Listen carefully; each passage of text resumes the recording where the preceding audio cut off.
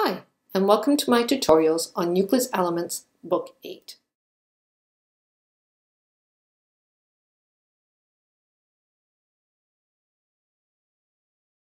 This video presentation is going to be on Proposition 9 of Book 8.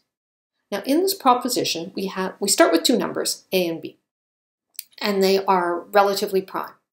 And if we find all the numbers that fall between a and b such that they are in continuous proportion, in other words, if we have a to c is equal to c to d is equal to d to b. So again, we're looking for the number of numbers that can complete the series between a and b where they are in continuous proportion. In this example, that number is 2, but it can be any number of numbers. So in this more generic example, I have S1, S2, all the way up to S of M, such that they are all in continuous proportion. So in this generic example, I have M numbers between A and B that form this continuous um, proportional series. So if we have this, then the number of the number of numbers between A and B that form this continuous series, in this case is M, there will be a, the same number of numbers between 1 and A. So between 1 and A, we are again going to look for the series of numbers to form a continuous proportion. And they will have, if there's m between a and b, there will be m numbers between 1 and a, and likewise, there'll be m numbers between 1 and b. So um, this is just me explaining it in a different way. This does not come from Euclid's book. But if you remember from um, Proposition 2 of Book 8, if we have a set of numbers S to S1 to Sn, and it's a proportional series, and they are the least of this proportional series, then S of 1 will be some number to the n minus 1th power, and S of n will be a different number to the n minus 1 power.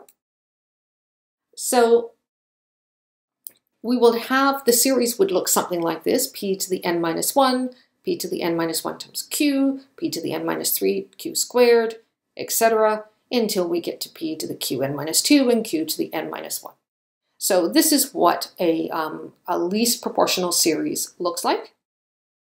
And what this proof is trying to say is that if we're looking at the length of this series, then if we have a series from 1 to the p to the n minus 1, its length will be exactly the same as this length.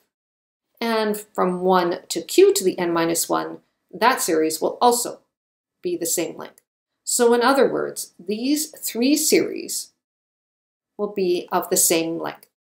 And I find actually just looking at this a little easier to understand the proof because Euclid didn't use algebra in explaining the proof, so he does it more by example than by anything else. So let's carry on.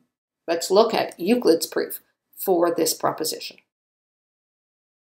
So again, we're starting with two numbers, a to b, which are relatively prime, and e is the number 1. And we search for, or we have two numbers, C and D, such that A is to C, C is to D, is D is to B. So we're going to find the um, least two numbers, F and G, such that they're in the same proportion as our series. So F to G is the minimum numbers that can represent this ratio. And using the methods in um, Proposition 2 of Book 8, we then find three numbers that match F and G, and then we find four numbers that match F and G, and we could continue this to end up with the same length of whatever ACDB is equal to. So we continue continuously do this until we have, again, the same length.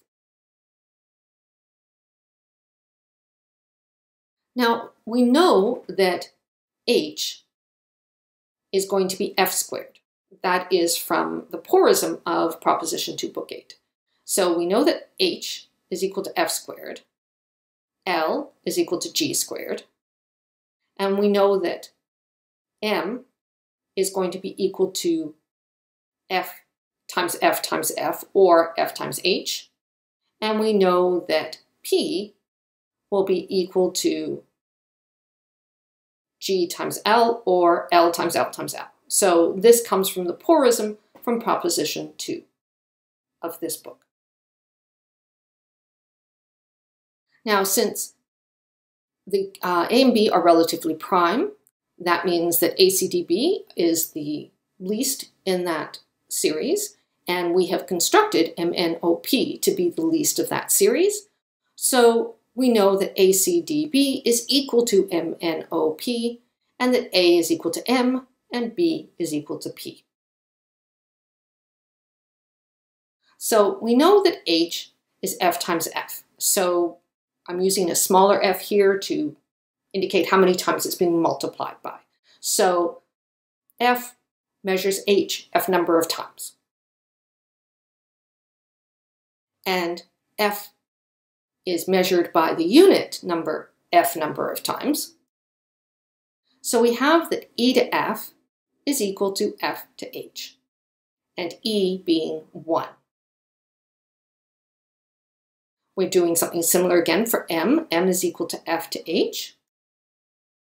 And f is equal to f of e. So we have that e to f is equal to h to m.